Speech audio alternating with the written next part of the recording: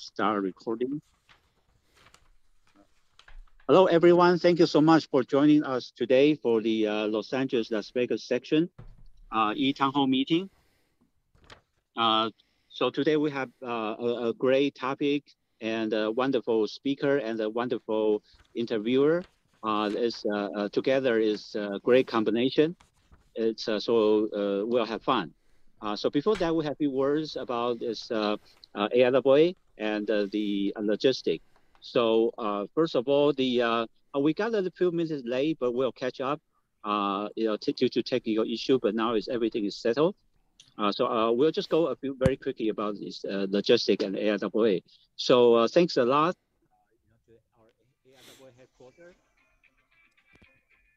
to. Oh. Um, providing.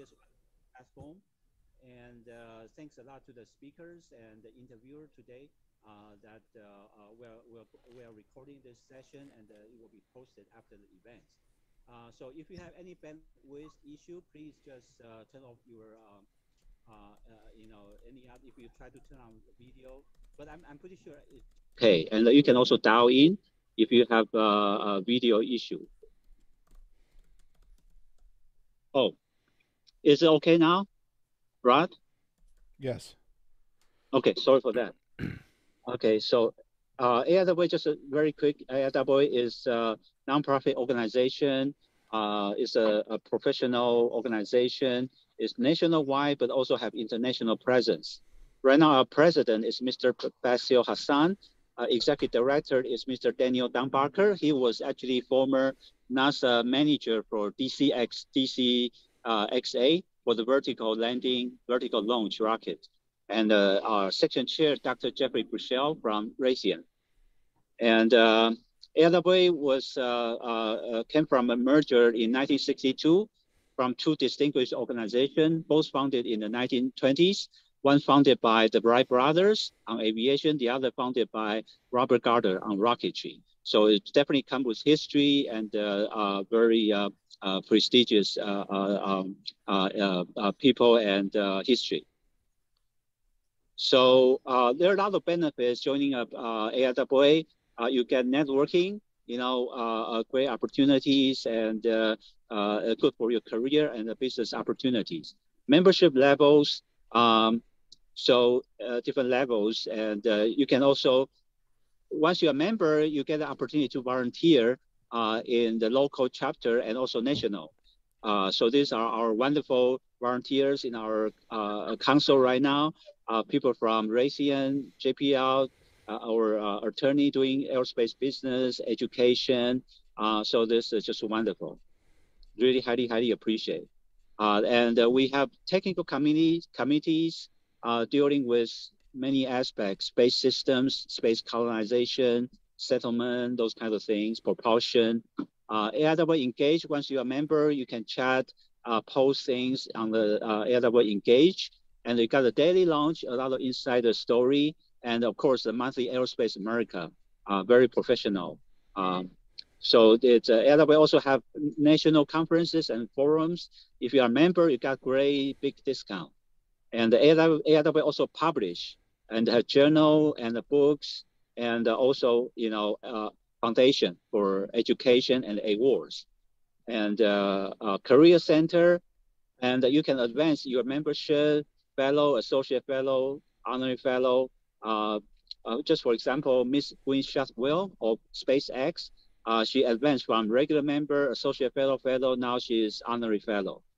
And you have awards, and you, if you do good jobs in your education or your company, uh, publication, you know, uh, or teaching, you know, uh, it, it's you, you can nominate for for you know, we encourage you, inspire you, motivate you.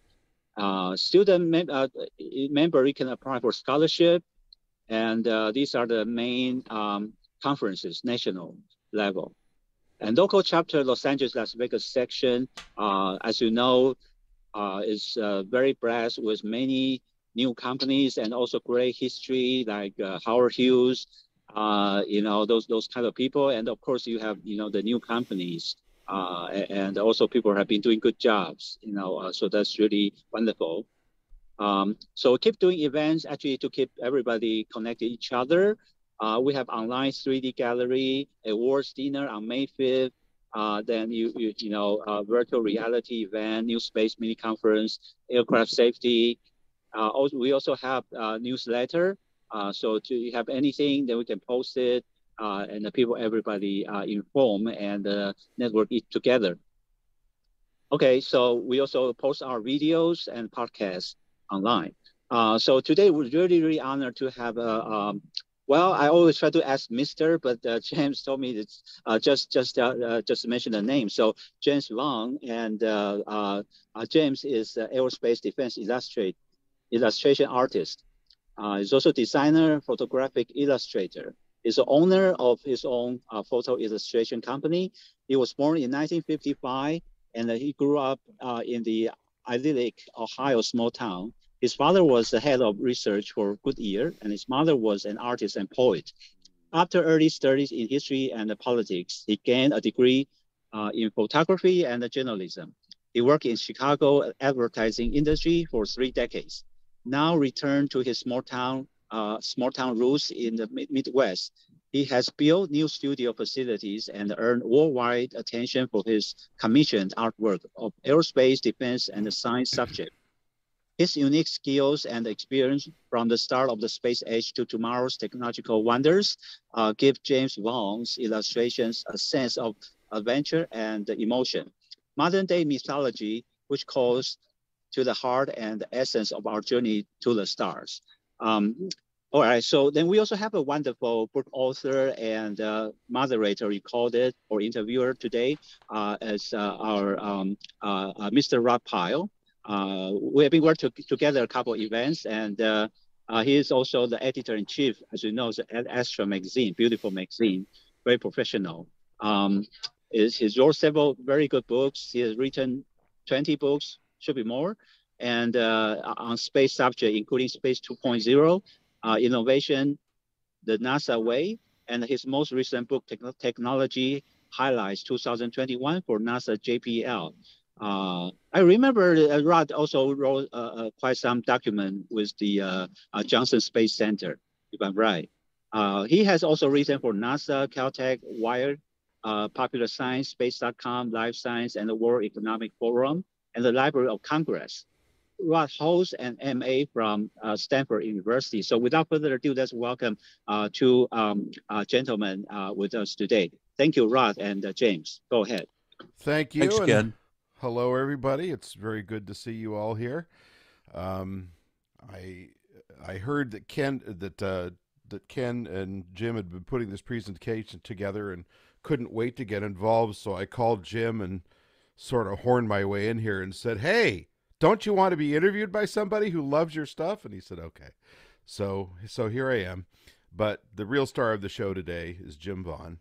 Uh, Ken, why don't you take down my slide if that's what people are still seeing, and we can see Jim full face or the two of us full face. Um, okay, just a second. Okay. So Jim and I go back. Uh, gosh, what now? Eight years, Jim? Ten years? uh oh i thought it was 30 40 50 yeah don't you wish it only seems yeah. like that long uh, uh, yeah we do go back a while and and you've been a big uh big help and a big inspiration and and a, a, a great comrade and ally well and i i was very lucky to meet you when i did because it was uh about the time i got much busier writing books than i had been and just a couple years before I took over at Astra magazine, and uh, when those two things occurred, I thought, hey, I know just the guy to communicate everything visually because the stuff I've got is junk, and that's when I started to uh, to flex Jim Vaughan's talents to my will, which has been really good for me, and I hope Jim it's been good for you too.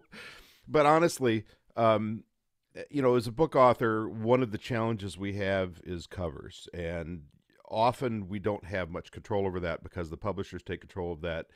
Uh, a long time ago, I started getting put in my contract that I had control over that, and the second that happened, I started using Jim's artwork. And then when I took over at Astra magazine about five years ago, I sort of made an executive declaration to our very small staff and said, "Guess what? we're going to do one kind of cover from now on, and that's going to be Jim Vaughan illustrations. And this isn't just because Jim was a friend or because I thought his artwork was cool, which I do. It's because, at its best, illustration of any kind, but especially in our area where we have a lot of very technical material to cover, illustration needs to convey an emotion. It needs to tell a story. It needs to take the viewer places. A lot of people do a wonderful job of painting a rocket or a spacecraft or an airplane or a machine of some other kind. And I have endless respect for anybody who can do that. But to bring a sense of storytelling to that and to really talk to people's hearts first and their minds second is a very unusual skill. And it's something that Jim has brought to the table since the first illustration of yours that I saw. And it's a rare and remarkable thing. So I, I, I keep telling you this, but hats off to you, Jim, for for being able to do that. And we're going to talk at more depth about how that came about. Um, I just want to share screen for a moment here before I let you launch into a discussion of what's. Oh, no, that's interesting. Okay. Oh. No, that's not what I want. Here we are. Okay. Um, that's not the screen. That's not the droids we're looking for. Yes. I'll get this right. Just give you a moment. Yes. Meanwhile, I'll sing a song. Um, Can you do a little bit of a dance? a little An bit of a Irish jig, perhaps? No. Okay, for some reason, it just wants to share this screen, so I'm going to have to shift my graphics, which I will do. Okay. I'm coming right back here. This is what happens when you have a laptop and a, a desktop system combined, and it's not a Yes. happy thing. Um, so, okay, this is going to come up now. I swear. Do you want me to? Um, Are you Uh, now seeing the James Vaughan photo illustration slide? yes, and and the stuff on the side. Excellent. Well, the stuff on the side will just have to be there because Oh, okay. it's not in Keynote. All right. So, just But a primer. Can you make that full screen? No, Oh, for various reasons that I will go into later. such is the- such is the The- the fate of the artist, right? Yeah. Actually, let's see. I, I can do this though. Let's do this. Is that better? Uh, yeah. Okay. Yeah, not perfect, but better. So this is an illustration by Chesley Bonestell from I think the 1940s. It was originally done for Adler Planetarium, as I recall. And this is an example of early space art. And this, Jim, from what we've discussed, was one of your primary motivations, was the work of Chesley Bonestell. Bonestell was active through most of the, of the uh, mid through late 20th century. And along with a small handful of other space artists, kind of gave us our first taste of being able to see visions of other worlds, and in this case, from other worlds. This is Saturn as seen from Titan, in a way that had never been done before. We had had illustrations for Jules Verne novels and so forth, but they tended to be uh, line drawings, pen and ink, and just kind of lockstep with the with the text of the book. Bonestell uh, and a few others, such as Ludek Pesek and a, a handful of other illustrators in the time, really went out on a limb and started to redefine how we looked at things. And I guess kind of set the stage for for aerospace and space illustration in the 21st century, which has just blossomed uh, remarkably since then. And in an age where almost everything is computer graphics, um, painting style illustration or digital painting can really uh, continues to be a, a very unique area. So I, I thought I'd go from here to the obvious next illustration, which you did, Jim. Mhm. Uh, this is Cassini around Saturn.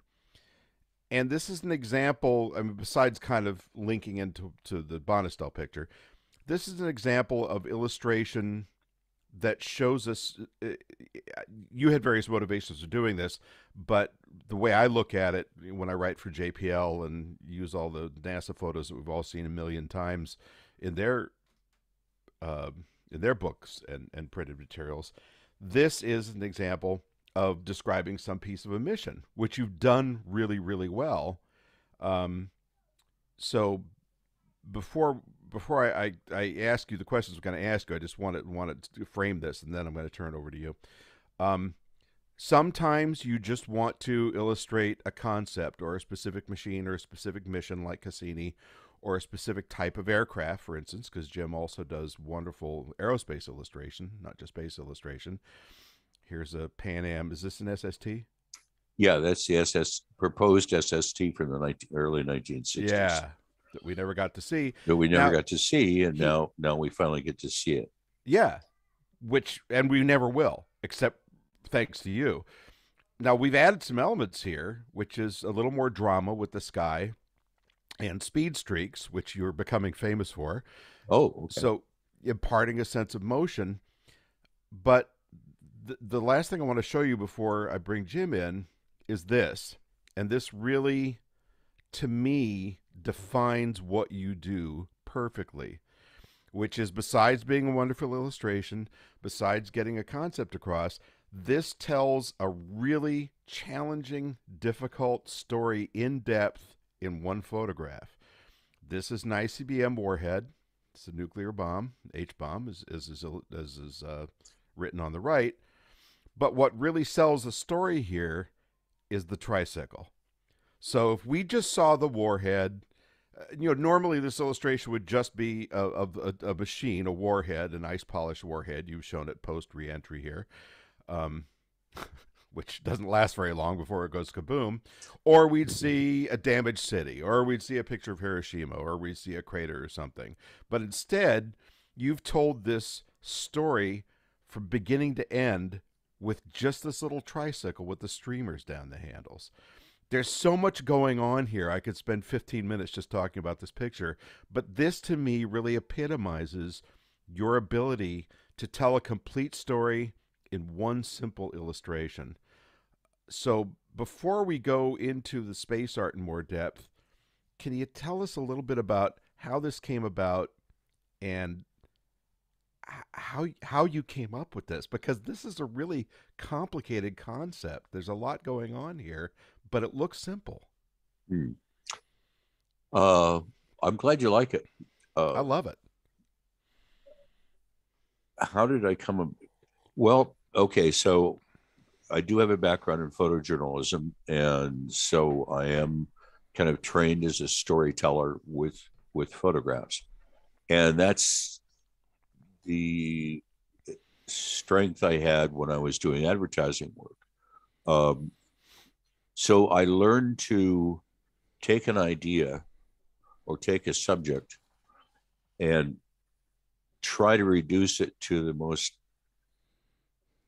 to the simplest and most elemental uh, parts and um, go straight to the to the whole nature of what was trying to be told uh, instead of you know futzing around on the outside or or layering it with this or with that.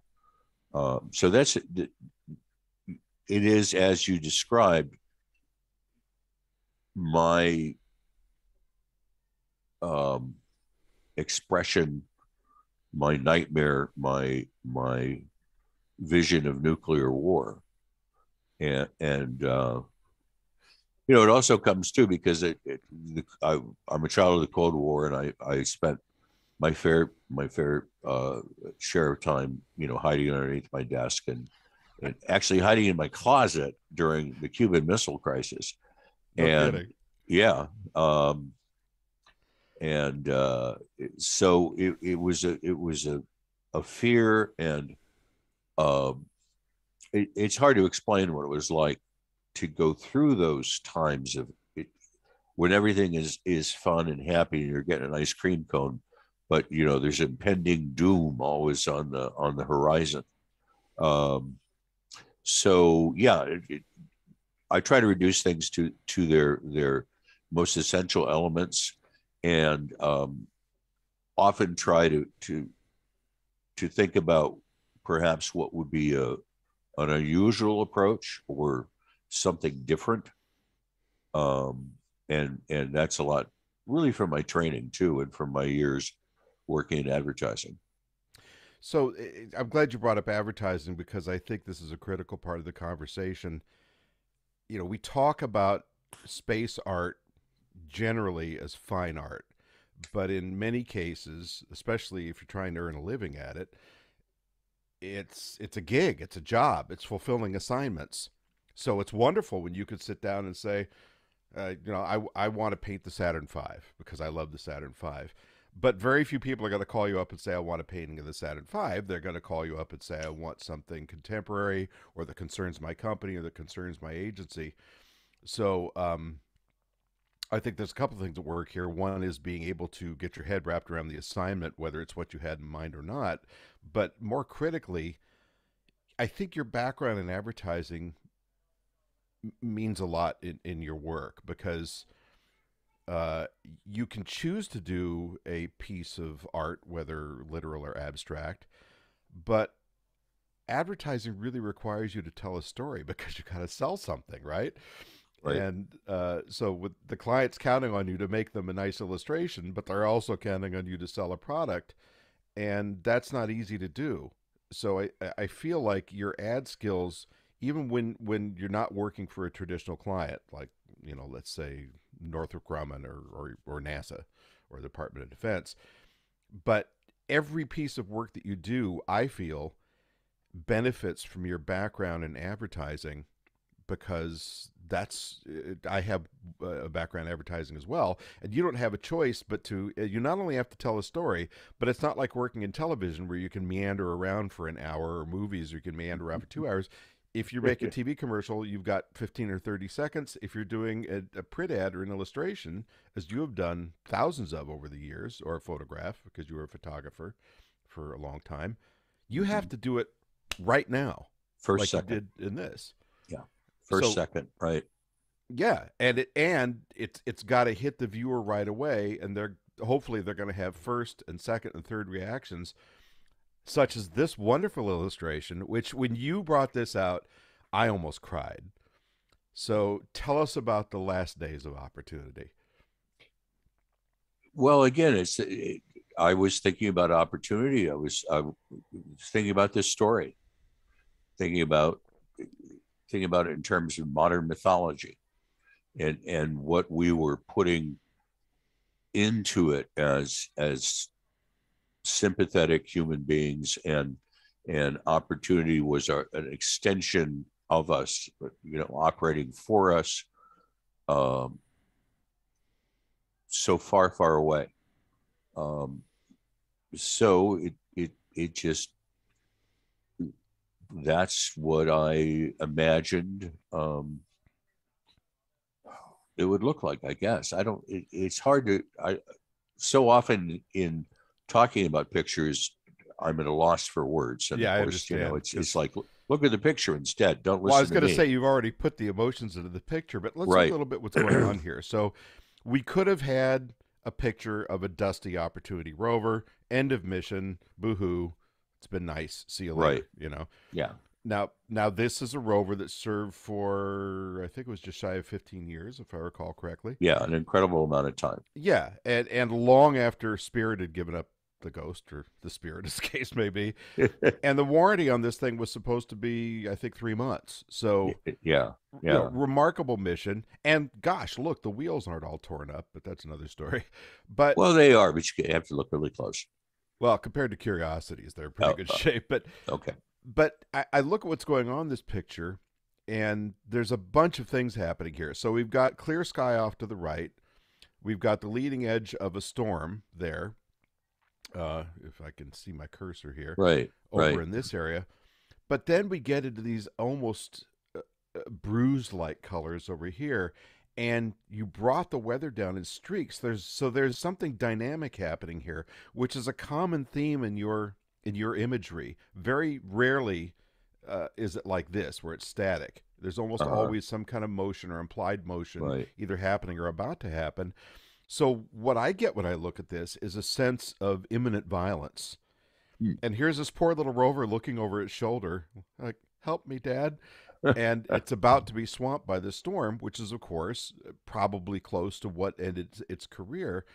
So there's a lot going on here that you dreamt up, and uh, you know I don't know what you started with on this one, and I don't know what. Maybe you can walk us through the process of the image you start with for photo illustration, right, right, and then how you move into creating these incredible backgrounds that are a big part of what tell the story. Uh huh. Well, um, I was searching high and low for a, a good reference image um, that would show me what opportunity looked like. Um, and I wanted, kind of, after looking at a bunch of different pictures of opportunity, um, I had decided on this particular pose. Um, I, I wanted to be close to the ground because opportunity is actually very small compared mm-hmm. to a lot of other probes. But I wanted to give him her a, uh, uh, I wanted to make it look big. I wanted to to to not have it in in human scale, but in the scale of the the the probe itself, of the rover itself, and and relating to the environment. Um, and and he, opportunity deserved to have a heroic look. And and really that's what this is. It's a picture of a dying hero. Um well said. and uh, the background and the colors and those sort of things i'm i often i try to work um with what little i know about uh, classical art and uh, often am, am studying landscapes uh, of, of people from the Renaissance and that sort of thing. Um, and so I'm putting a lot of that into, into this also in terms of the, the complexity in the sky. And, and that's a really good point because the sky can tell a story just almost all by itself.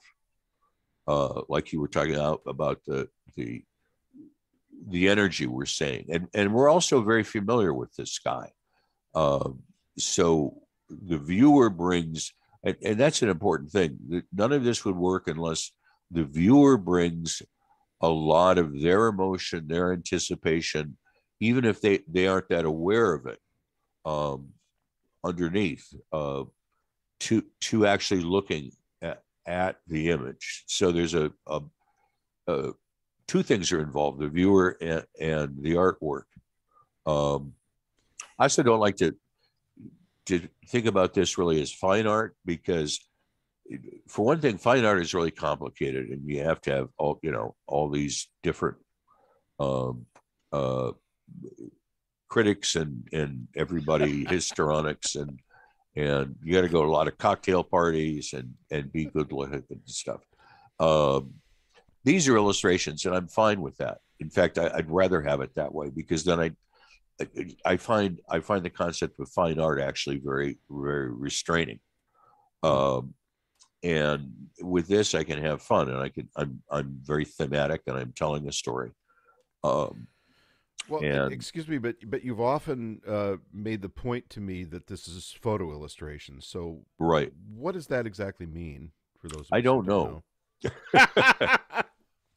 No, I looked it up the other day and it just barely, it's not really in the dictionaries yet. Yeah. And, and it's funny because, of course, I was a photographer for 30 some years or so. And because of the advancing of digital and around, uh, around 2000, I began to play around with the digital and um, it opened up, it, it, it just was miraculous.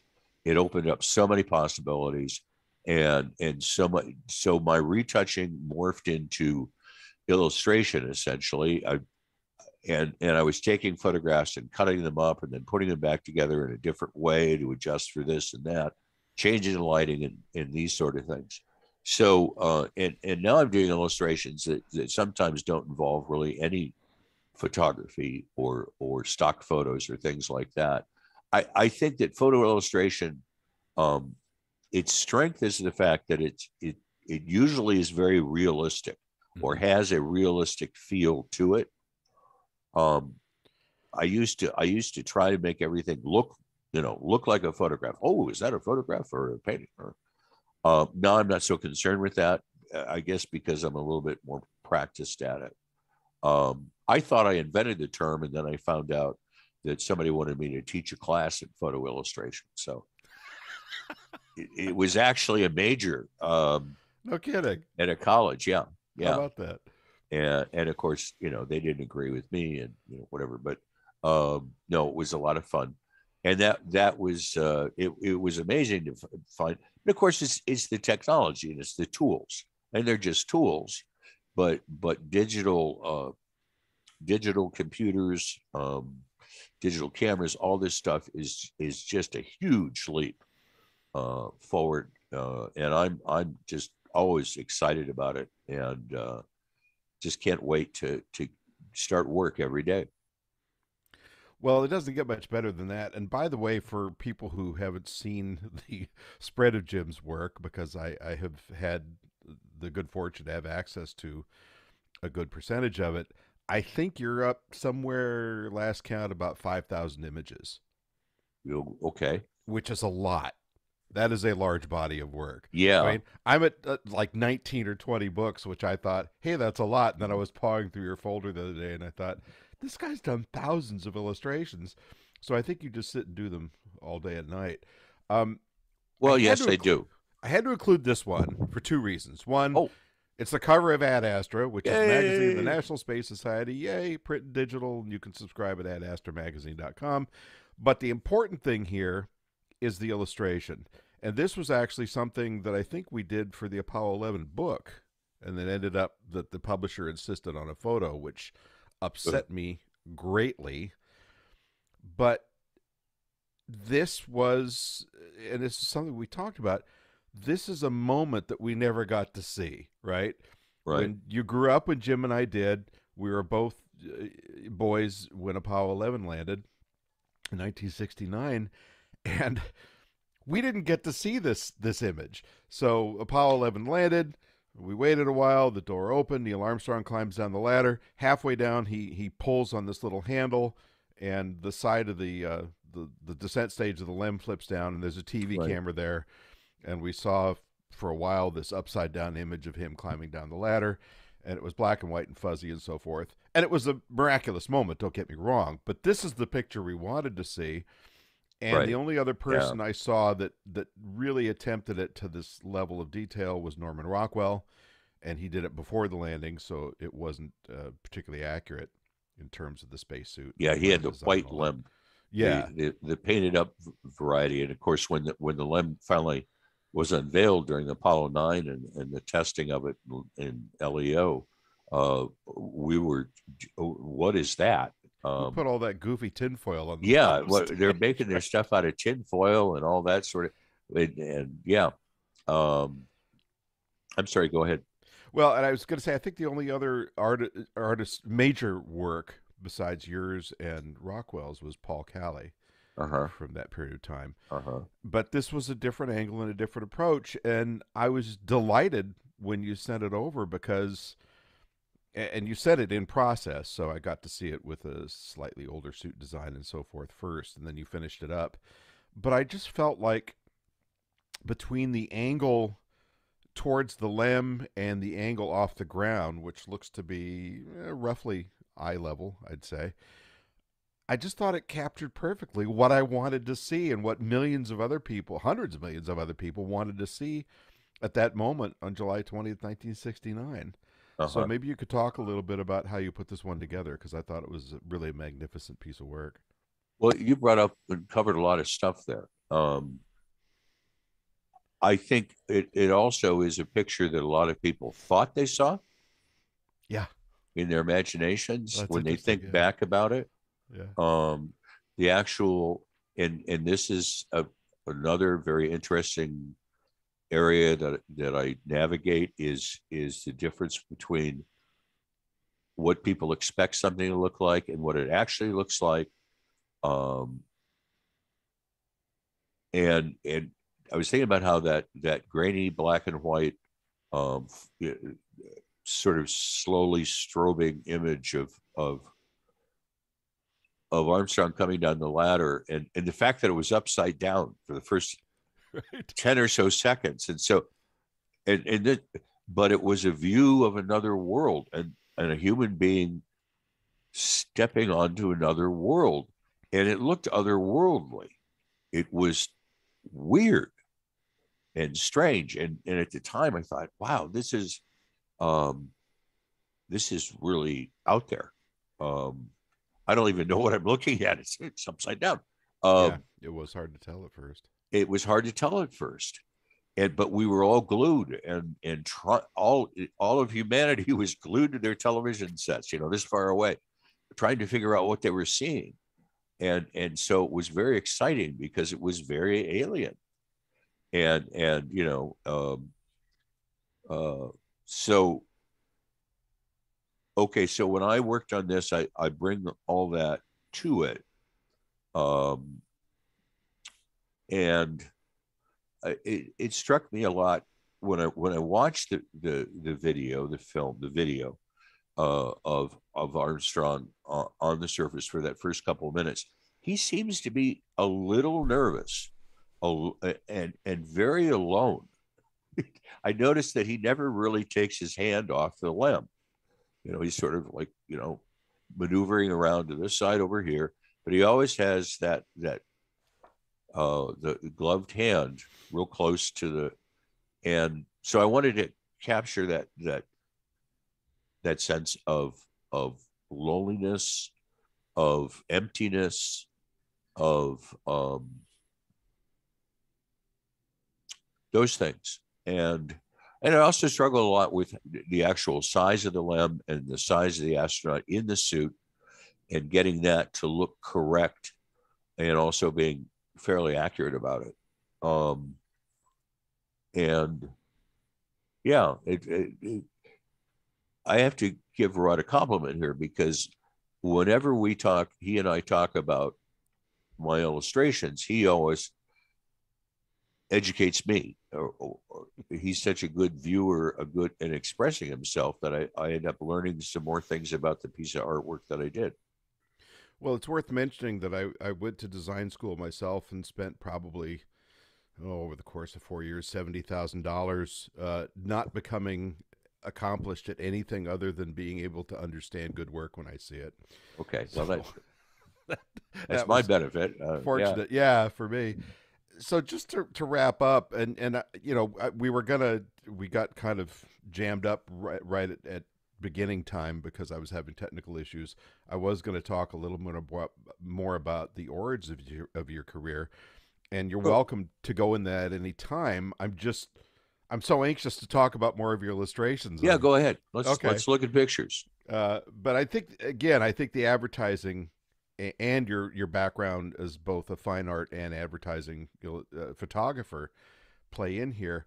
This next one is really important to me because it's become the de facto uh, trademark image, if you will, of the National Space Society. Because in one illustration, without and this wasn't a commission for the NSS. This was just something you did. In one illustration, you managed to capture everything they've been talking about for 40 years. So, this is a picture, obviously, of a young woman with a teddy bear in some kind of space station looking out over Earth. It's simple, it's clean, but again, there's a complex story here. Um, generally, when people in the past had talked, you know, groups like NSS, the L5, so forth, had talked about space settlement. We saw a lot of big metal cans in orbit. we saw spaceships. We saw pressure suits. We saw people doing space like things.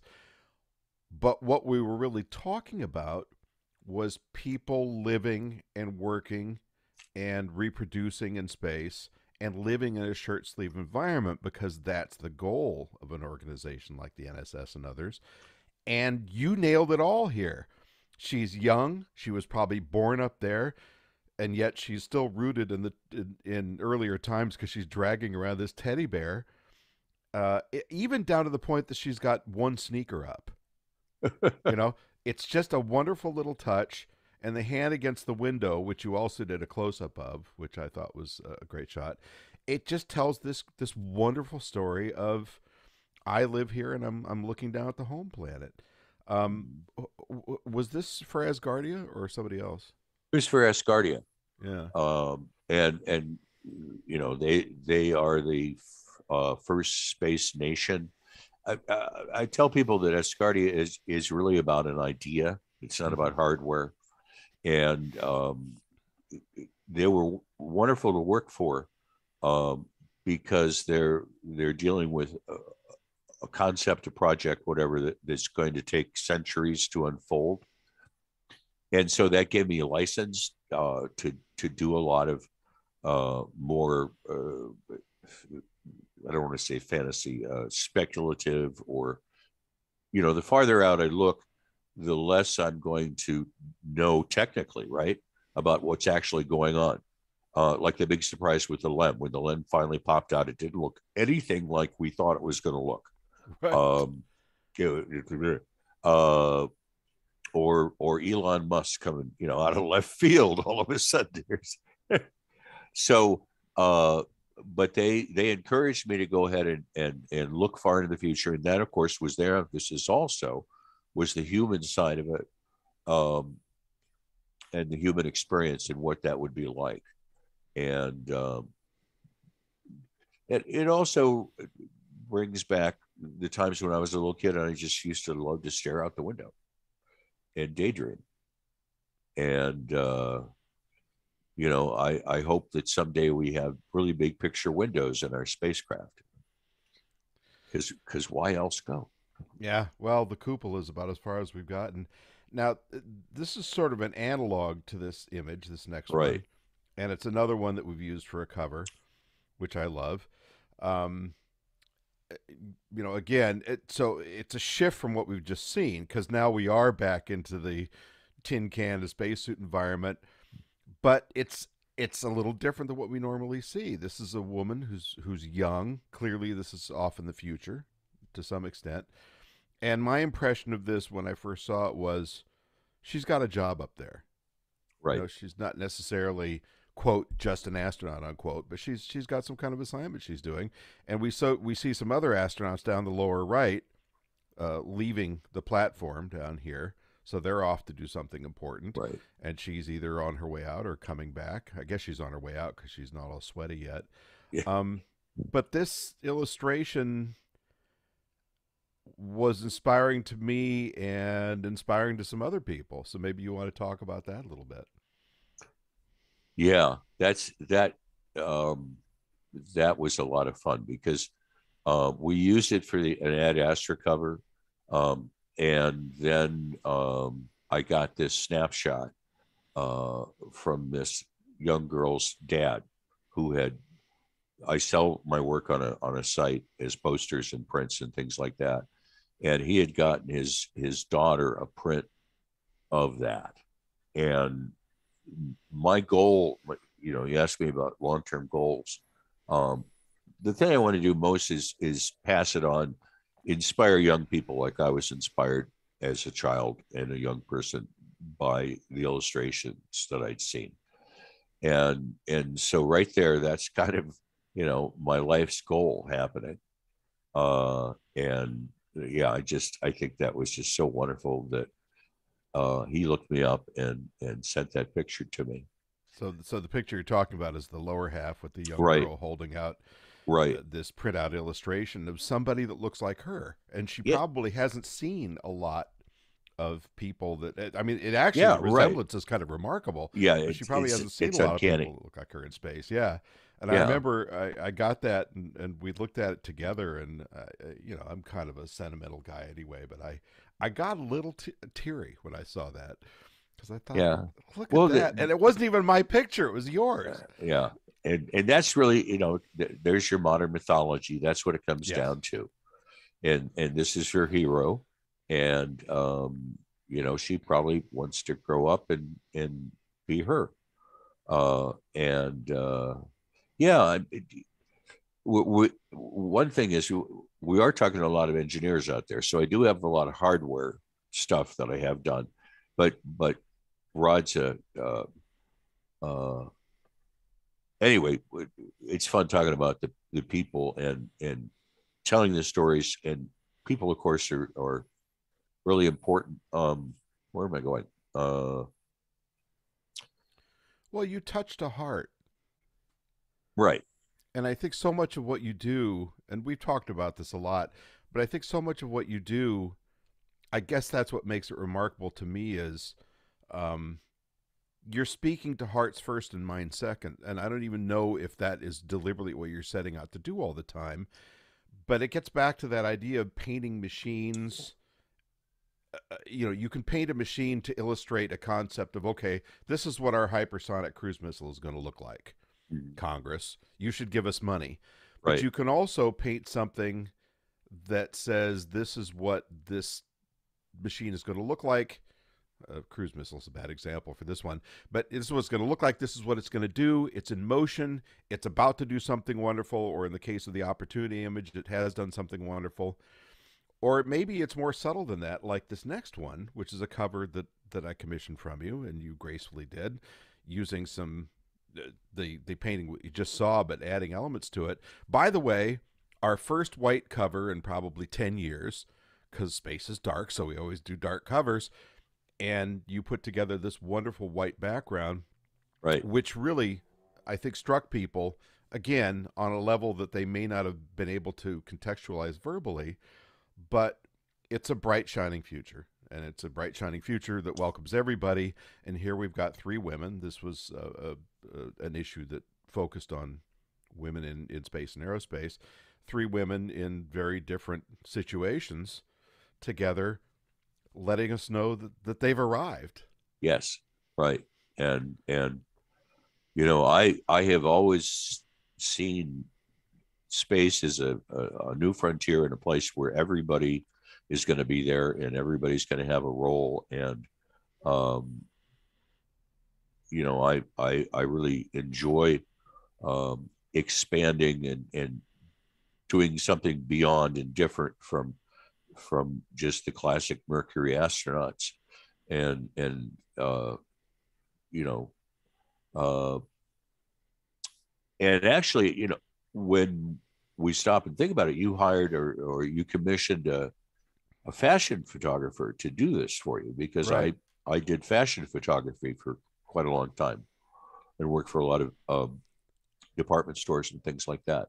So that's sort of what this is. Um, and it, it, was very fun to think about the different um, jobs and the different trades and and specialties, et cetera, that would be involved and are involved uh, in in space exploration and, and the people that do it and how they're all basically heroes or or yeah you know uh yes I didn't notice before just now that I guess the woman on the left is a welder, huh?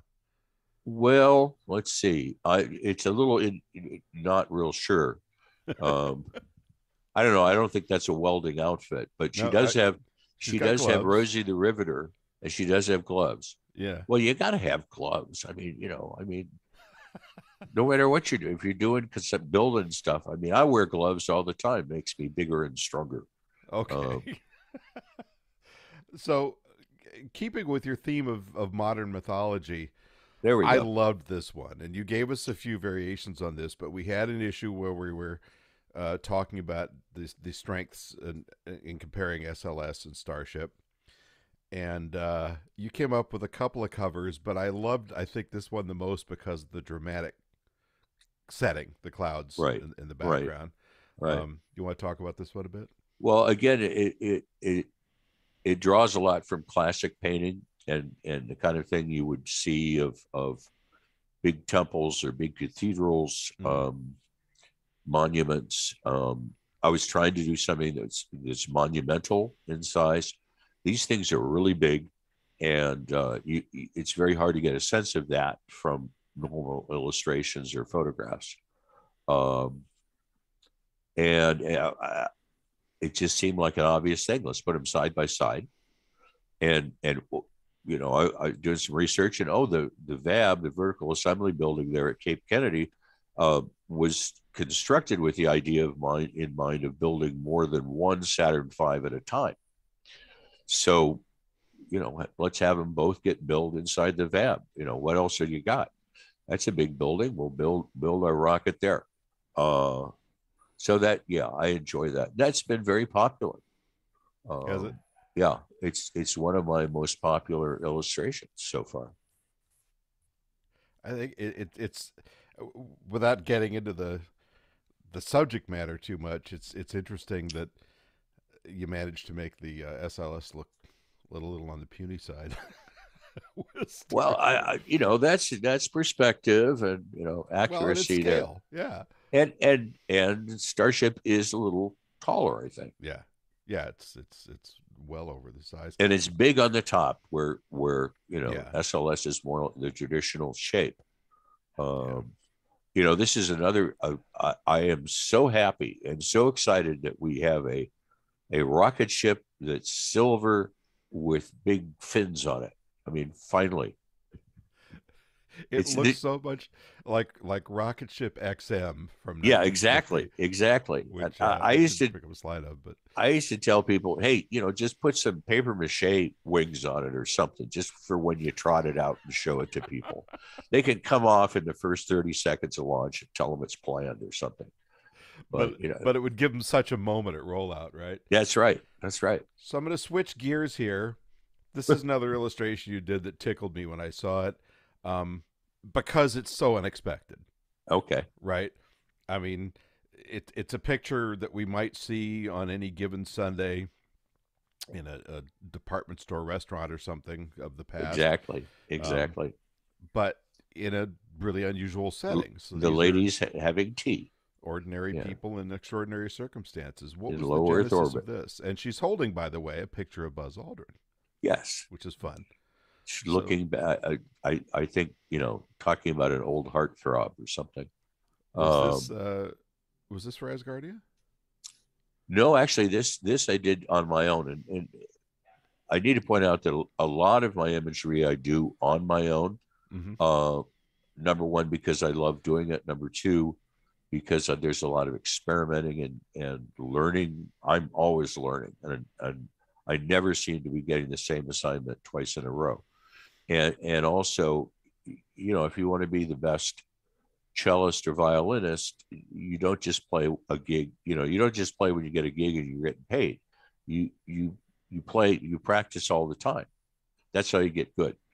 Uh, so anyway, I I am a big fan of Norman Rockwell, and much to the horror of my fine art friends, and and uh, they make always make this certain face.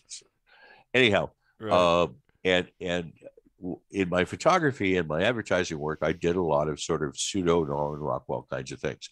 So this was sort of like a challenge to myself to, to, to take Norman Rock, Rockwell into orbit, uh, and to come up with also sort of. I think there was some. There was something from Asgardia where they were talking about showing normal normal things going on and uh, I went through a list of what was very normal. And like you said, I kind of remembered back in the day with the the, the ladies having tea at the at the department store uh, tea room sort of thing.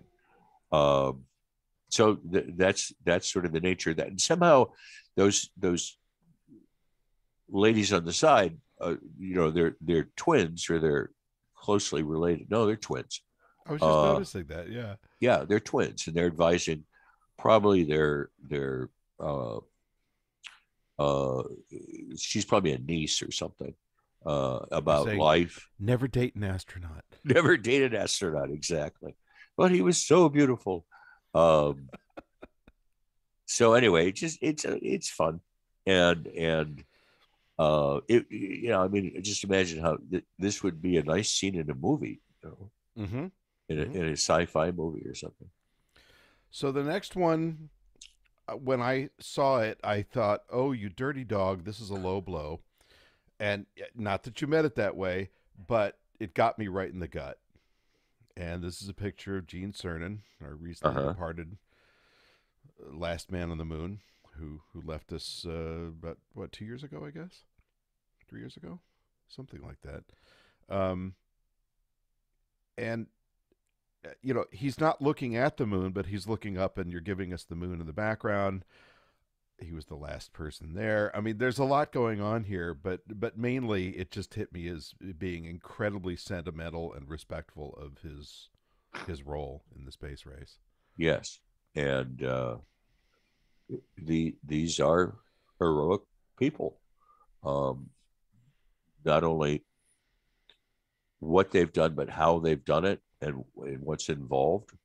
Um, uh, and but they're people they're human beings so mm-hmm. so uh, I, I, like to bring uh, when i'm doing a portrait uh, i like to bring um, other stuff to it uh, i like the fact that he's looking up and out beyond the moon uh, you know and uh, yeah it, it, it you know it's funny because if I'm doing a portrait of someone who has died recently, uh, which was kind of what was going on for a while, uh, it it was sad, and but I didn't want it to be sad, so uh, I wanted it to be hopeful, and and there's also the question of do, do I want to show the person uh, as they were uh, or as they they are now, and and so it was a nice kind of blending of that to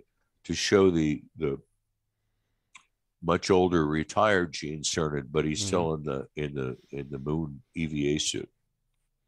Well, and, and that's a good point because it's not something we'd see, especially right. because it looks like that suit's already been out in the lunar dust. Right. But I thought that's what made it so remarkable. Yeah, is that it's just this bending of time. Um, I'm not going to spend a lot of time on this one, but this was a, a cover I'd asked you to comp up for a book, which ended up right. getting a cover that was about uh, publishers uh, hundred thousand times less attractive, thanks to the publisher. Um, but you're going to get in a, trouble. Be careful. Uh, they're out of business. Oh, oh, good. yeah, okay, see, they yeah. did. They didn't follow our advice. They went out of business. Well, you know, they they didn't buy enough of your covers. Um, but I loved this illustration of Armstrong you did, and it's. I think part of what's remarkable about it is that if you studied Neil Armstrong, and I didn't know him personally, but I, of course, like a lot of us, had, had read tons and tons about him and seen interview after interview. Uh-huh. This is this kind of sphinx like expression he had a lot of the time, which is, I'm not giving you anything. I'm thinking about it. And in this case, we assume he's looking out the lunar landscape, but he's not given us much, which means we we fill in what he's feeling and thinking. And I yeah. think you did that on purpose. Well, he's looking at us. He's looking at the viewer. He's looking at you. Mm. And and is this he disappointed is, in me? No. Okay. He's he's he's happy. You remember the human race, and and he's come in peace. Uh, again, I wanted to show something that we might have thought we saw, but we we never really did. And the whole time that Neil and Buzz were on the surface, it, at least from what we saw in photographs, the the gold plated part of the helmet visor is slid down uh, to protect them from the really bright sunlight. Now, right. this is uh, could be what he's over in the shade of the of the lem or something. Um, but I, I thought, wow, you know, we've never actually seen them. We we see these spacesuited figures, but they're very alien. Um, and yeah, he's kind of a, I don't want to say a mysterious character, but he, he you know, talking about modern mythology and heroes and that sort of thing. I, I always felt like Neil Armstrong was was so wonderfully appropriate as the first human being mm-hmm. uh, to go to a planet because he was he was so um, otherworldly. it was kind of enigmatic, and, and I guess for a lot of us, it allowed us to kind of paint our emotions and our reactions into him because he yeah. wasn't giving us a lot that way. Well, he's he's basically a good Ohio kid who was doing his job. Yeah, and you not know, by the Boy way Scout, you know? the guy that was portrayed in First Man. Don't want to go on a rant here, but okay. I saw that movie, thought the effects were great uh, a little weird that, that all the spacecraft looked like they had been uh, the Gemini spacecraft looked like it, had flown through World War II when it was brand bought, new. Bought it from the back of a used car lot. Yeah, yeah, but but Armstrong, you know, in that film, as not portrayed here, was kind of stumbling around the moon, and he's depressed and you know, he's sad whiny. about his daughter and all yeah, that. really. And if you listen to that spacewalk, he was giddy. He was having a great time. yeah. He was, you know, what you portrayed here, not not wandering around the moon trying to figure out where he's going to throw his daughter's bracelet, which he probably didn't do. Right. So, um, sorry that that is neither here nor there. Um, this is an image that you sent me a couple of years ago, which I've I've I've not yet used in the magazine. Although, uh, no, actually, I think we did. We used it for an article spread, but I just uh, I I love it on a couple of levels. I guess mainly because we've got serious young Mister McMurphy here looking off into the future, and uh, your your particularly talented use of I, I, iris refraction in the background Uh huh. which I felt like J, if if J.J. Abrams had commissioned this image, this is what he'd do. Yeah, Yeah, okay, okay. He's But- blown it now for us. You know, there's too much Well, flair. Yeah, Uh, but you but you use it well, Thank and you. it's not something we see very often in this kind of artwork. Thank you. Um, and well, that's that's part of part of making it look real, quote unquote. Um, is there's a lot of different elements, a lot of things that go in there to make something um, really make sense to your heart and your mind, and and Mhm. of course they both work together. And and seeing is a emotional act. It's a it's a we can't we can't divide our feelings from what we're seeing. It, it- they're connected very very much.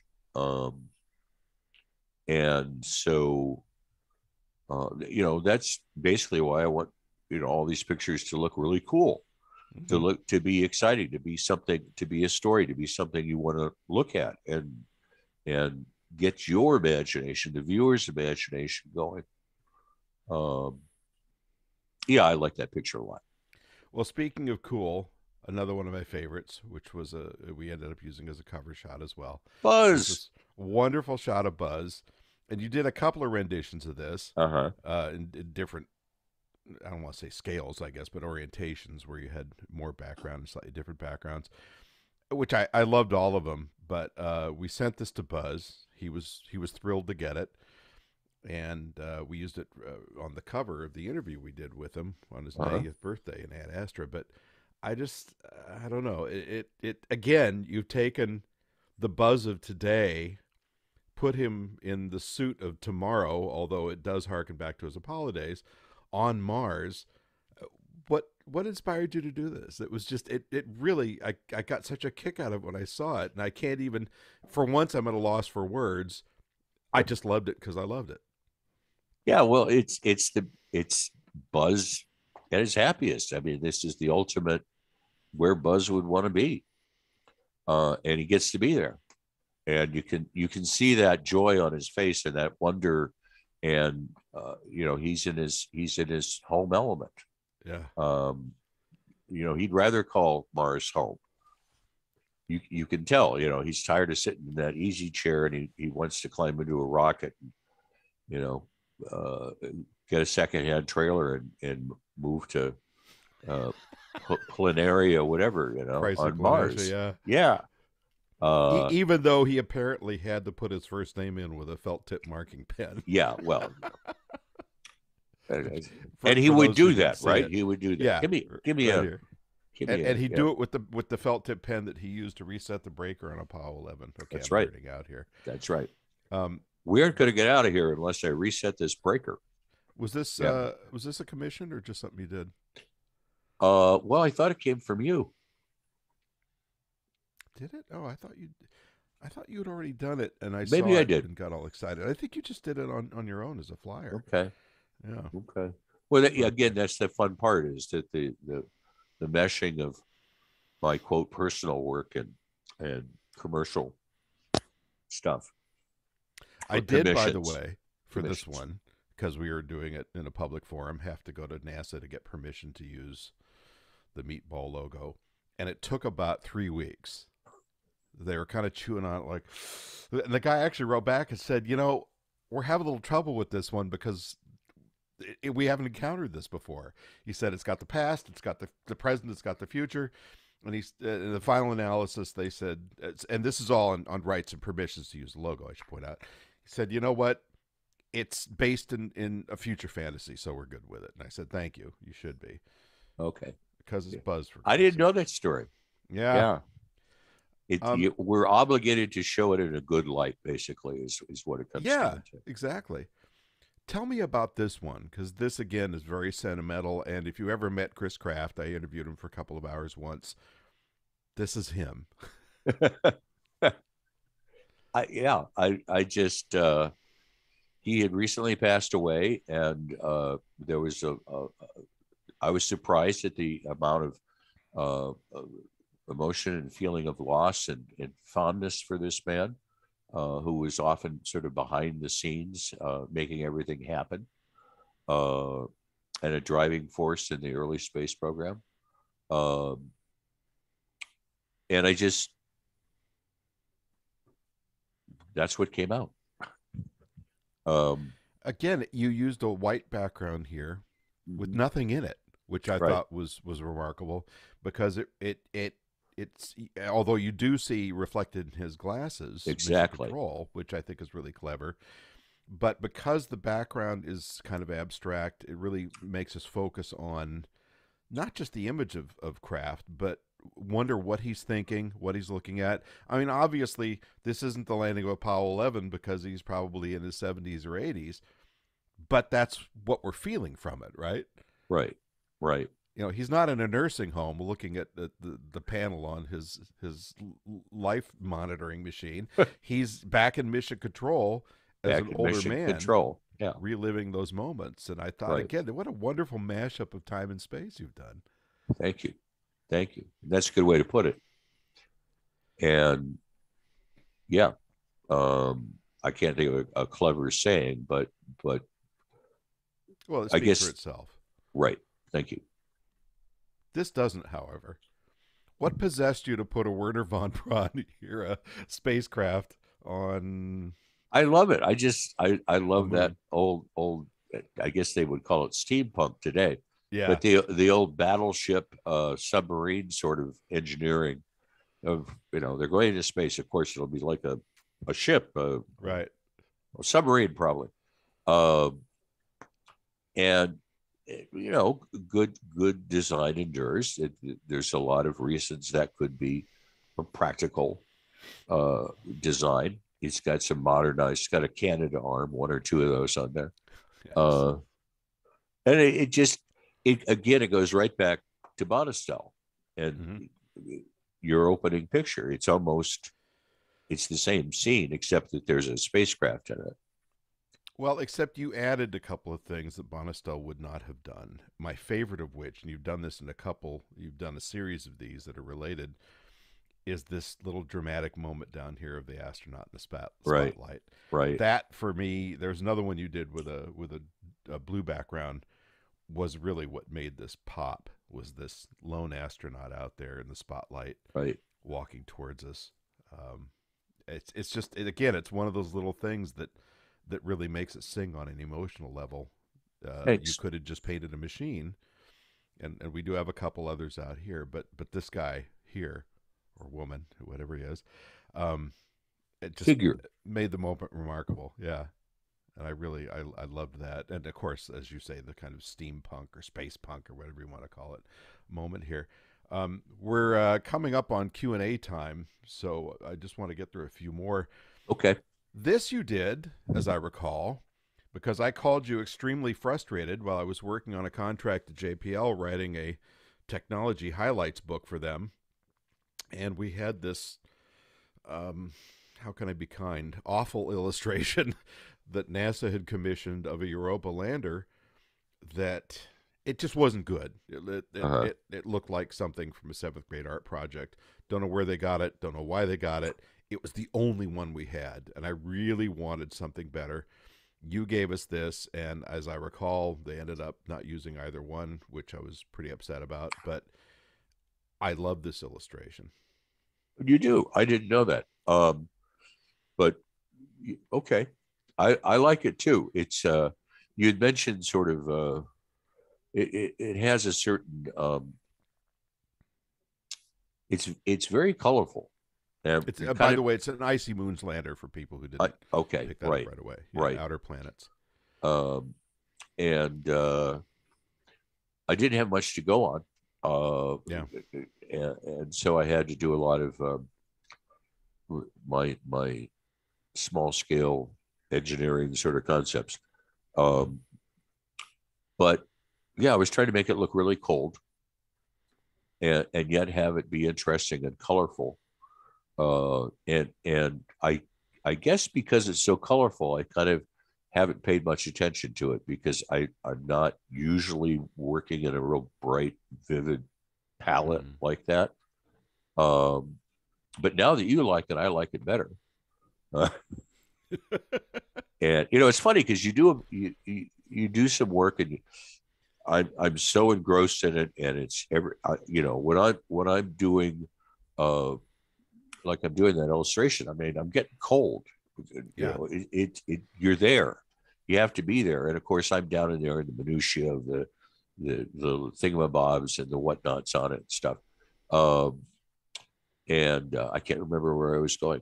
Um, well, you live in Ohio, so it's cold, and that's probably very well, inspiring. If that must be it.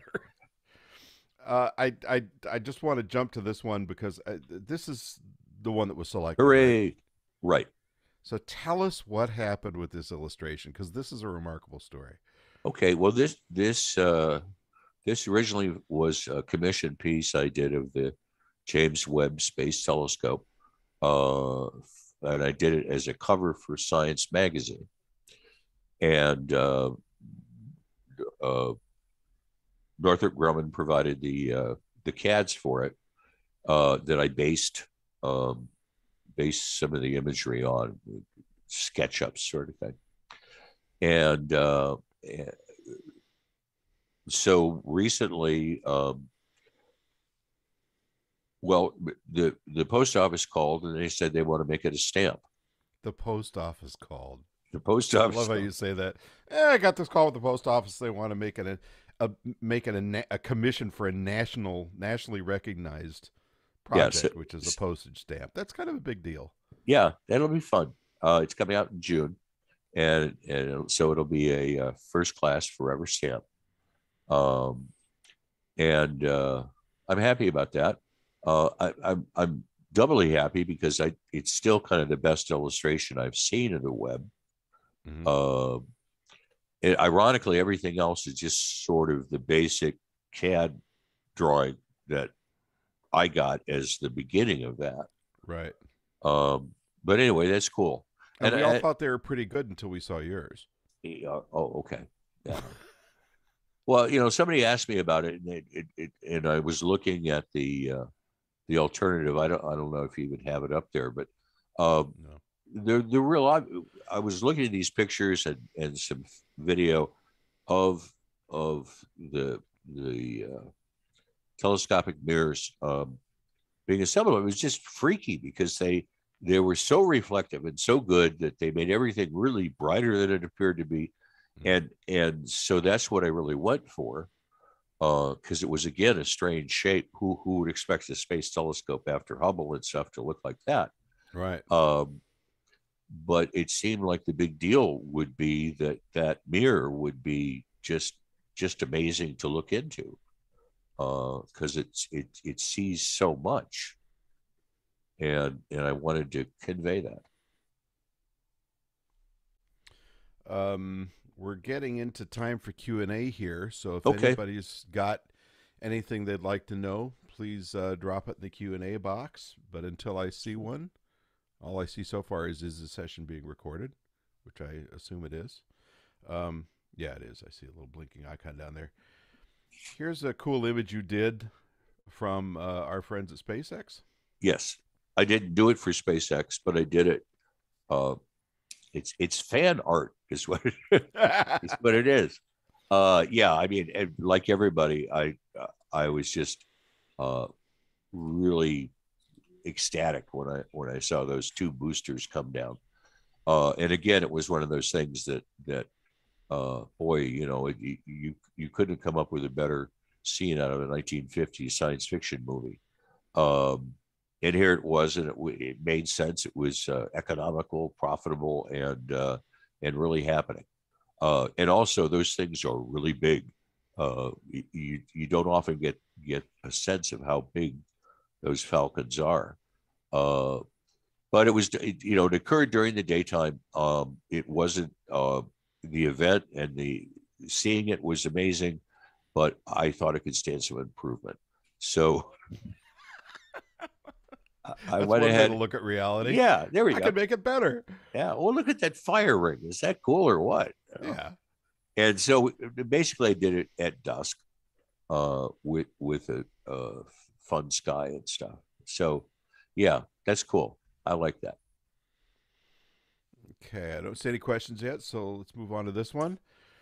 Ah, the X15. That's an early um, piece I did, and uh, it it it was. You had mentioned something about portraying speed, yes. and this was going to obviously be a real uh, uh, challenge in terms of of making uh, things well, making a painting look like it, it's something that's going really fast. Right. Um, and you know, it's funny because you watch watching something go really fast is a whole kind of unique experience. Mm. It it's something that that really depends on something going by really fast. well, but the problem is when you're seeing something really go by fast, it goes by really fast. So you see a flash as opposed to what you're doing here, which is right. giving us a still frame that's imparting the idea of speed. Uh-huh. And you're doing that in a couple of ways. You've got this speed streak here, you've got the ones back here. You've got speed streaks moving forward from the fuselage, which right. is kind of interesting. You don't see that very often. But you're also cleaving the frame. Uh-huh. You right. left white space here, which right. you know it's a brilliant combination of of tactics. I mean, do you even know that when you're? Uh, was this planned, or is this just how it comes out while you're while you're painting? Uh, I, there was uh, quite a bit of serendipity in there. Probably uh, the I don't remember exactly, but it could be that the the uh, the way it's blocked out like that might have been one of these things where I looked at it before I'd finished it or something. Mm. No, I, I I was consumed with the idea of of what was happening. What's happening is is sort of it in reality, but it's also uh, also in the realm of physics and science, and, and that so much of that's going on too.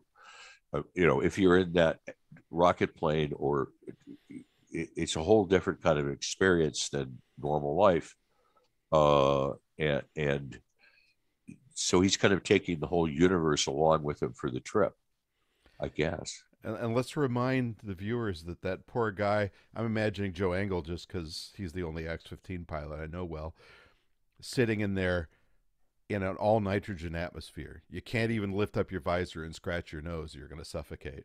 Wow. I didn't yeah. know that. Yeah, they didn't For have fire suppression or what? Yeah, yeah.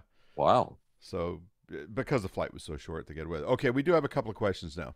Um, first one is from Rob Wingate. Will you describe the process you go through to create your artwork, e.g., research, preliminary sketches? Do you use live models? Okay, live. Well, um, and I guess that could mean either people or objects, depending how you look I at it. I guess. Uh, okay, so the the the live model question is interesting because you know, like I said earlier, I was a fashion photographer and that that of course is a huge part of that kind of image making is working with another person and and their talents the model mm-hmm. um but now i'm i'm pretty much using people i find in from stock photo agencies it, it, but that's very hard and, and it mm-hmm. takes me a long time to find just the right person just the right expression um sometimes it's kind of inspiring you know i find yeah. something that that uh so the process is is similar to to normal old fashioned painting on a canvas uh, except I'm doing it all digitally, all on on a computer on a screen. Um, but I follow the same methodology where I'm kind of sketching in, blocking in the the basic idea. Um, like this, I mean, I, I would be sort of doing a, a really rough, uh, literally working on paper at some point. Um, you know, saying, okay, well, I want going this direction. I want, uh, I'm, I'm figuring out the dynamics uh, of the image and maybe the colors. Um, and something like this, I, I probably would work from uh, five or six different photographs of of the X15, and again, cut it apart, cut them apart, and then reassemble them uh, to get the right angles and perspective. Um, photographs by themselves are often more distorted. There's a dog around here, more distorted than uh, than we think. Uh, lenses and all kinds of things make make these things um, uh, somewhat distorted uh, or not true, um, and so I have to adapt for that. And uh, um, but the whole thing ends up. I mean, I don't think there's a pixel on there that I haven't uh, touched and retouched and moved around, and and uh, so there's a lot of that stuff that's underneath it all. But then the essential uh, final processes are, are very much just like traditional painting. So we're going to jump back to this because we have a question from Paige Donner, and I think, uh, do I click the answer live to enable her microphone, Ken? Oh, No, she she's uh, already in there. Oh, okay. Paige, did you want to ask your question? Oh, sure. Um, I is my I don't know if my mic is working. It is. I can hear you fine. Oh, fantastic. Jim, th- this is so wonderful to see your work. So many of the other artists really see you as the, you know, your work as the gold standard. It's it's wonderful to have this be a listener on this conversation. And Rod, uh, I'm such a big fan of Ad Astra. Oh, to. Yeah, my question um, for you gentlemen, um, by the way, congratulations on the stamp. That's Thank you. wonderful. Yeah, can't wait to get it myself in June. But you know, as I'm looking at your your work, um, you, I mean, it's, it's just so it's breathtaking, and I I wish I'm almost thinking I wish I had the experience somehow to see this larger than life, which is how the images feel to me. Mm. Um, is there any way, are you exploring any other mediums by which your work can be enjoyed? That's a good question. Um, it's crossed my mind. Uh, I I do. I have put together presentations that are on video um, of of the the still pictures, but there's some movement and and music and that kind of thing, and I like those quite a bit. Um, but in terms of you know, I mean, get, with the right projection devices, we could put them up in clouds or something. That'd be fun. Uh, it, IMAX theater would be cool. Yeah, I, I agree, and thank you. I, I like my pictures really, really big. Uh, billboard size is, you know, my idea of a, a wallet picture. Um, but uh, eh, and that that that maybe is a place where I run counter to the fine arts people. Um, I used to go to galleries, and it, you know, it, it was really fashionable to have these little postage stamp sized pictures. Anyway, I, uh, but thanks. Uh, it, it's something I'm going to continue to look at, and, and if people out there have any uh, ideas or abilities or or the resources, uh, please give me a call. I was I was looking at a thing about that huge dome they're building in Las Vegas. That's going to you know have Was this. that the the lunar thing? Uh, I don't know if it's a lunar thing in particular. It's a seventeen thousand seat, like Oh. OmniMax theater on on ma- major steroids. Uh, s- and I thought, oh, that'd be a cool place to show my work. You know, Yeah, that's that's the kind of backdrop I was thinking too for for your work. They're they're Right. just so yeah, they're just so monumental. Wonderful. Okay, great. Thank you so thank much. you. No, it's a great suggestion. Thank you. So if we have any other questions, please drop them in the Q and A box so I can see them because I think uh, that's how we're supposed to do it. I have one last f- image I wanted. More hardware. We got to show hardware. No. We're talking engineers. Okay. Oh, you you brought this up. I thought. I, yeah. okay. Because again, uh, it's sentimental. So so who was this for? Why did you do it? How did you pick these people? Okay, so th- this was originally started out as commission as as part of my commission work with Asgardia, and and one of the wonderful things about that assignment was that they basically said, uh, "Here's some money and do what you want to do, and and send us some pictures from time to time," um, and That's a pretty cool commission. that's an ultimate commission, and I think they got their money's worth. Um, so this was involving again the idea of humanity going into outer space and being linked to the Earth and, and a lot of different things, but it it just coincided. I, I got this done, and the whole COVID uh, crisis really kind of hit, Mm. and uh, it was something that uh, it, it was sort of like a picture looking for a theme, maybe, or something. I, I thought all of a sudden that's perfect um, for a a um,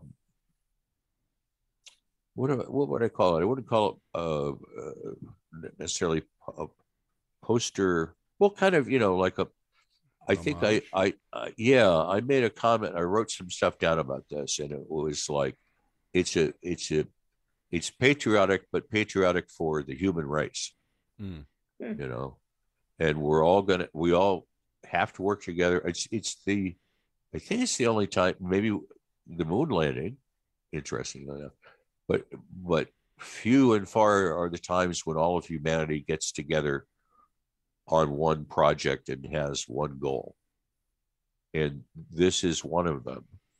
Um, and I so- wanted, So is that James Doohan and is that Nichelle Nichols, or do they just happen to look like that? they just happen to look like that. Okay. Uh, uh, sorry, the questions are stacking up, so I got to Oh, move good. to a couple of things. Uh, Sean, you're up. Yeah, hi guys. This is Sean Boyke, your buddy. Hi, James. Good job. Thanks.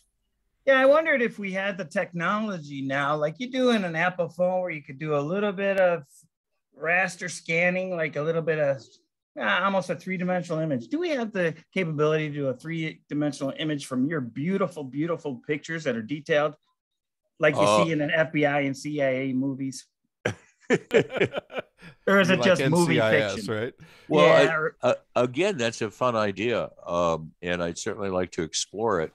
Um, I don't know for sure about how uh, somebody was asking me about holograms and, and true holograms versus whatever, um, Mhm. and certainly it would be fun to explore and look at. I also had somebody contact me about remember those those um, ah, there's a name for them the the big postcards you get on the highway and it would be like a Fresnel lens and you could see you know uh oh yeah. Lenticular, I think they were called. lenticular right. They they were asking Usually about of jackalopes or something. yeah right or you know uh, East, Easter bunny with it's, it's skipping through the woods. Um but somebody did contact me about that and I, I need to get back to them and, and cut. I think that would be a gas. That'd be fun that would be. uh, Thank you. thank you So Paula, you're you're up. Well, hi. I thought this exhibit, if you will, this presentation, it was just fantastic. And having worked in space community for a zillion years, um, you know, this kind of captures the history of almost everything I can remember, including the first landing on the moon.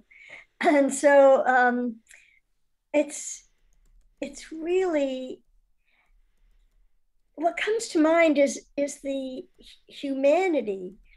Um you know where we get very involved in the technology and in the rockets and the fuel and and the strength but we don't talk about the humanity. And i feel you you have really captured that in these paintings. And especially um, the one about with neil armstrong Um, I I got to meet him and make give it was a presentation for an award that I was giving to him, and um, your painting of him was exactly the face that I saw when I was handing him this award. Hmm. And it really brought that back to me. So uh, it's very realistic and moving.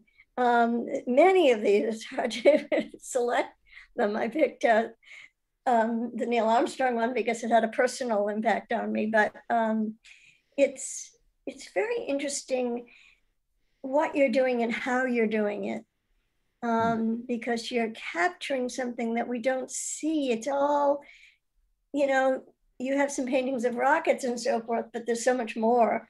Um, yes, that was the one I was talking about, mm-hmm. right? Mm-hmm. This is a beautiful photograph, uh, uh, not photograph, but a painting. I really love it. You know, you guys are putting me in a difficult spot because the next time I talk to Jim, he's going to start raising his rates after all this praise. But, but it's well deserved. I'm just kidding. Thank you. Thank I you think, for for those uh, insightful words. So I think Paige and Mike both have something to ask. So let's go for Paige first.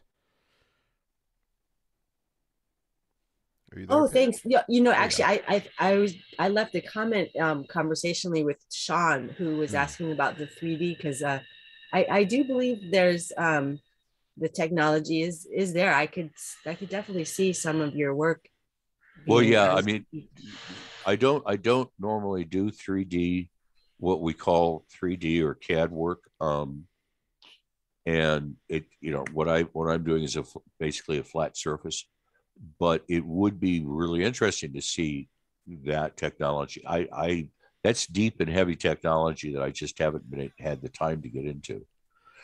Although it, it should be said, you do you do source some of your work by working with 3D, right? By building your own models, right? Oh yeah, right.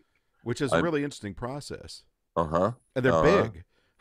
yeah, right. You yeah. Um, I've I've been wanting to do some stuff that's that's um, okay. Let's see. How do I do this shortly, Rod? Um, in uh, back in the beginning of the space age, there was a lot of illustration work done about what could happen, what might happen. Uh, it was based on scientific, basically, designs. Uh, and this is by uh, uh Rockwell and Boeing and right. all the big players. Uh, I don't see that much of that anymore. Uh, maybe you know beyond sort of you know settlements on Mars, baking bread on Mars. Um, and it, it's not very exciting. Uh, so I wanted to move forward and and do some more of that stuff in a contemporary and then futuristic way.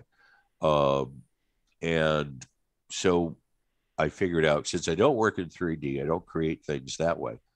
Uh, I've I've learned some special uh, uh, techniques, etc. Uh, so now we're building uh, large scale models of some of this uh, these spacecraft ideas, um, and some of them coming from my head, uh, but based on science, based on on speculation about technology. Uh, we're only going about 50 years out or 60 years out. Uh, but that's proving to be very effective and a, and a fun way to, to create the source imagery. So I'm actually in a studio photo, you know, like like Stanley Kubrick photographing this great big model, and with all the little diddly bobs on it and stuff. So that's fun. Is diddly bobs a technical term? No. Okay. Thing thingamajig is and uh, gizmos. Gizmo, yeah, yeah. That's that's a whole category. It's like you know a kingdom unto itself. So Mike Helton has a question. Uh, Mike, are you there? Yes, uh, I'm here. Can you hear me okay? Yes, sir. Yes. Yes. Uh, first of all, uh, James, uh, thank you very much. These are most amazing uh, paintings. And uh, my first question is very simple. Uh, typically, how long does it take you to do one of these paintings? For instance, the one up there on Neil Armstrong. Whoa, um, that's a good question. I don't really know how to answer that, and and that's always a, a puzzlement to my to my clients when they ask me, how long is this going to take? Um, it takes a long time. Uh, I don't think anything I've done has been under a week worth of work. Uh, sometimes uh, it takes a lot longer. Uh, and I'm trying to maybe to shift where I can work back and forth on on two pieces at the same time. Uh, but it's all new territory for me. I mean, this kind of illustration and this the, the topic of aerospace um, has been relatively recent in my life. It, it, I've been doing this now for only about what eight years, Rod. I think so. Yeah. Yeah, I sort of switched over, um, and uh, yeah, so it it it's doesn't take nearly as long as like a traditional oil painting, which which will definitely take months. Uh, it takes months for it to dry. Uh, but uh, yeah, it's it's a pretty involved process. Uh-huh. Um, uh, what what kind of cost would it uh, require for one of these uh, uh, paintings typically? Uh, You mean to buy one? No, for him to do one. Ah, Suppose I had an idea for a space station and I can draw some uh, pen- pencil drawings of it, new kind of space station. And uh, the drawings would be very minor and very, um, but you you're getting the idea across to me, and yeah. And so your I could- painting kind of brings it to life right? and Right. it would allow the author to talk about it in more Uh-huh, detail. right. And this Well, is yeah. as this, James's agent, I'd have to say about thirty-five thousand dollars. no, sorry, James. Go ahead. no. Wait a second. You must be getting a lot of that. Uh, you you told me twenty five hundred. Oh, I didn't Uh, tell you. I'm sorry. Oh, geez. Uh, well, that you know that's a good point, and and a lot of a lot of my clients come to me at that kind of sort of juncture in in bringing um, uh, imagined things to to uh, reality, uh, and and that's what I'm particularly good at, or try to be good at, uh, is making something look possible, look real, um, look believable uh, when they're making presentations and, and basically trying to scare up funding. Uh, so that you know that that whole kind of um, and of course then i have to get involved trying to understand what they're talking about and uh, I, I was okay at science. I was terrible at math but um, uh, yeah. So uh, that sort of thing is is is a lot of where i'm involved. And you know if you want if you want a serious quote uh, you can get a hold of me. With uh, my emails at, at the end on the last slide. And and you can uh, query me about that. My base i'm not expensive okay my basic price i'll just go ahead and say it my basic price is about 2500 per illustration and i don't know what other people charge uh, I, I, I do. That's very reasonable. okay thank you Very. uh, that's right because you're a, a a publisher about uh, all kinds of things um, Okay, Yeah. well, thank you. That, that's Thank- workable. And um, my last question is, uh, uh, would you, uh, have you considered to put your uh, paintings on display at a museum, for instance, the Air and Space Museum? Well, if Um, if they if they'll have me, uh, you know, it's it's kind of up to them. And once again, anybody out there who who has some connections, uh, yeah, that would be a lot of fun. I'd really like to do that, and and, and more than more than just paintings on a wall because that's too fine arts for me. Uh, you know, like the nice lady was saying, I mean, really big big pictures. Uh, I'd love that with a you know little little for the kids down at the bottom. Here's Mister B fifty two, and you know, he's your friend. Uh, Well, yeah, Jim, can I just add something to that, which is Right. Your what's Your- been frustrating for me working with you these years is your work is so extraordinary and really stands out in a field where there's a lot of good work, but yours is different. And again, I go back to this whole storytelling thing. I've already discussed that enough, but it's frustrating to me how much of a businessman and a marketer and a branding expert and everything else an artist slash illustrator slash fine artist has to be in today's market to get noticed even by a stock house which Right. should be automatic i mean these are people that can make a lot of money off of the work you've done by lifting a finger and sending an email and yet it's very challenging and if anybody out there has got a connection to that i would uh, encourage you to reach out um, um, it's i'm being suggested I, I get your email up there uh, which i will in just a second Yeah. but before we go, I want you to comment on Mars because you know let let's close on an optimistic vision of tomorrow. Okay. Tell me Uh, about this one. Well, this this is a picture of uh, some spaceships at Mars. Uh, how's that? no. Uh, Okay, well it's- look, it's we an got some astronauts here. They're doing Yeah. something. it's an expedition to Mars. Yeah, we got at least Uh, two ships plus a couple of landers. Right. like exactly a lot of cargo and and uh yeah once again um i'm looking for a viewpoint a sense well it, it, it's a it's a um, it's an expedition of discovery on a new land. And uh it, it's a very again the subject matter you know it, it's pretty strange and pretty wonderful and, and pretty uh, it- it- it's one of the nice things about these things is it's got a built-in wonder. I mean where are we? What Mhm. what are we upside down? Are we backwards? What are we looking at? What's down below um, that was one of the the fun things i discovered was uh, when i started to do research and stuff the amount of really beautiful photographs of of spacecraft when you turn around and you look you're above the spacecraft and you look down and have the the the earth as a background. Mhm. and and that was a unique view. We didn't get that in the early part of the space program partly because there wasn't somebody else to take the pictures people were in you know you were inside the the gemini capsule um and so it's it's i like to show the beauty of of the geography of these places yeah, and just how alien they are. So I'm and, gonna uh, I'm gonna go to your email slide in a second, but just in closing, I just want to make the point that, uh, and this is obviously Orion going about its business. You've kind of returned us to a new heroic age. Uh, You Right. mentioned that word a couple of times, and uh, of course, it always makes me think of the you know the last great heroic age, I guess, which was uh, arguably the exploration of the Antarctic.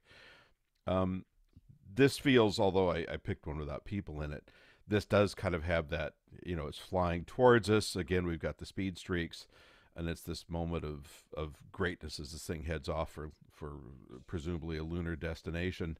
Uh, do you have anything in closing to say about the new heroic age or the, the greatest adventure? Well, it, it's it's those things and much much more. Um, it it it's going to be really our our our destiny in the future. I mean,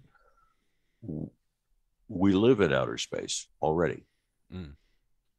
and uh, so we're naturally going to uh, go out there and find out what else is there. And, uh, this this is the big question often. Um, wh- why outer space? Uh, or, and um, a lot of us just we, we sort of feel it intuitively um, inside of us, um, and there's a there's a whole lot of rationalization or reasons. I shouldn't say rationalization, good reasons that we're out there. Um, the environmental movement um, wouldn't be anything like it is without uh, both our ability to see the world as it really was. I mean, uh, when we got those first pictures from the Apollo flights of of the Earth uh, as a as a tiny planet, uh, that changed the world. Sure did. Um, and um, and now our satellites constantly are monitoring our environment, monitoring the climate, we're getting views and information that would not be possible any other way. Uh, communication satellites uh, and uh, it, so much. It, it's a vital part of our economy now, and and it's a vital part of our modern lives. Uh, and and people are now you know making profit from from space exploration with Elon Musk. Those those guys are in the black. Their their their rockets are making money for them. Um, so it's it's part of our future. Whether uh, it's going to happen um, sooner or later with, with us or somebody else, um, it's inevitable. And uh, uh in some of my research recently for the, this talk, uh, I looked up the, the famous speech by John F. Kennedy uh, in 1962. Uh, it's often referred to as the, the speech about what, why we go to the moon. Some some ask why the moon, why why do this, and it's a, it's fascinating to read the entire speech because it's it's a homework assignment. Mm. Um, it it lists it lists out what what the benefits are I mean, he's really selling the space program at that point. Yes.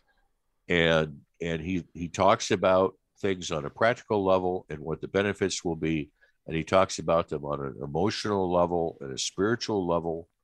Um, and and I haven't seen a better explanation yet than than what he said in that short speech. Um, and uh, why does Rice play Texas? because it's there. Because it's there.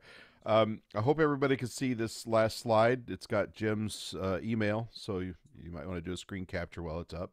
And you can find Jim's work besides in Ad Astra magazine, Hit hit. You can find his stuff at Fine Art America, from which I've ordered both posters and coffee mugs.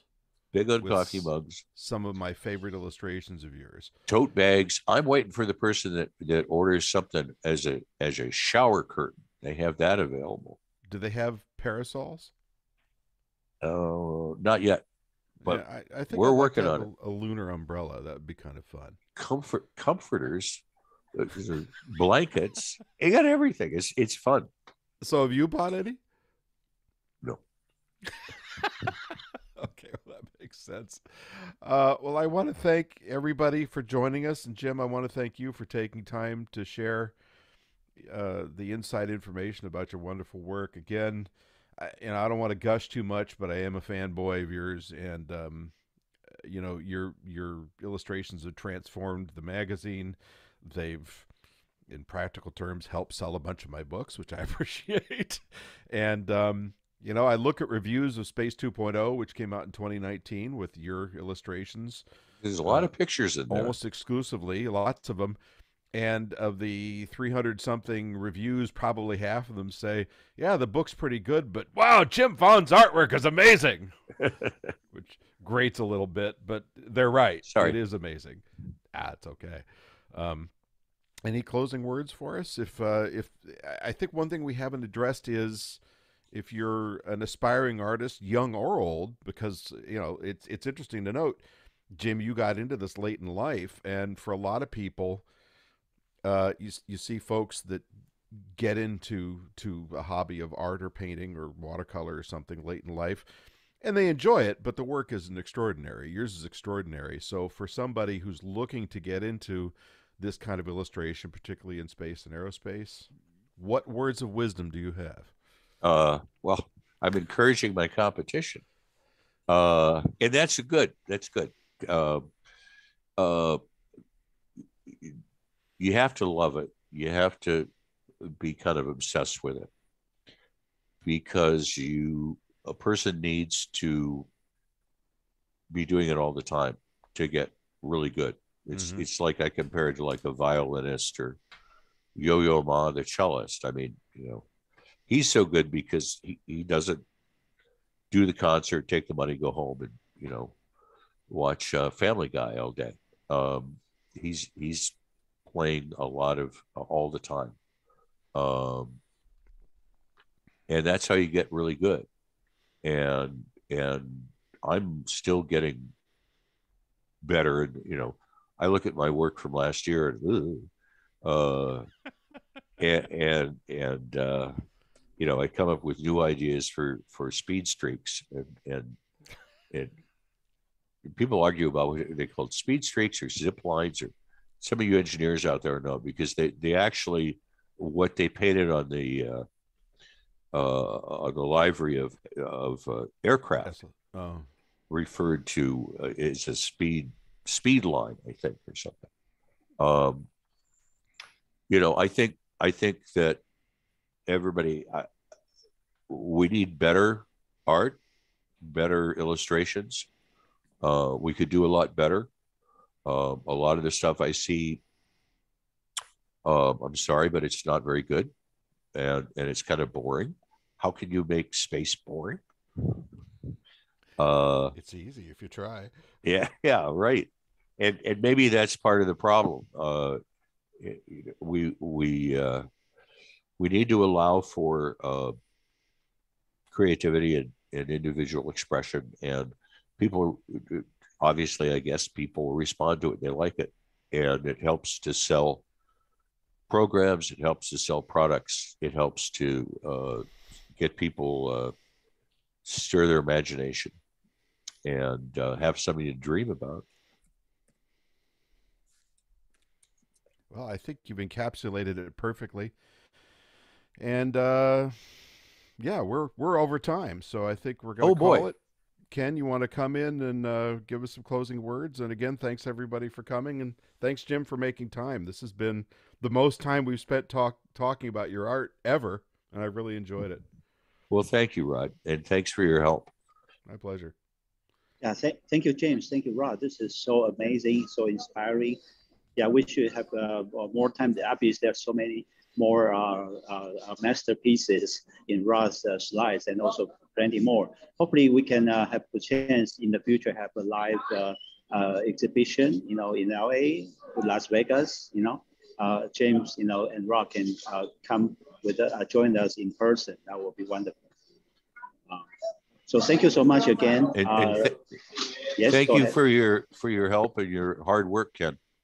Yes, James. I mean, I mean, said it. I have the same feeling. You know, it's, you, you are very special. It's just very unique, uh, something different. You know, so uh, definitely will uh, keep it. Um, yeah, I think uh, Colonel Schultes was just saying uh, he enjoyed the, the commentary and the artwork. Yeah, Joe is our uh, Associate Fellow and he has been fascinated by you know the, the space art uh, you have been doing, and uh, it's just amazing. So wish we can do it again, you know, online Great. or in person at some point. So stay in touch. Love to. Love yeah, to. wonderful. Stay in touch. Okay, so everyone, uh, glad you uh, enjoy and have fun. So uh, uh, uh you know, uh, stay in touch, and we'll send out the link for the video and podcast soon after the event. So appreciate it. Thank you so much. Okay. Thanks, everybody. Bye-bye. Bye-bye. Bye bye. Bye bye.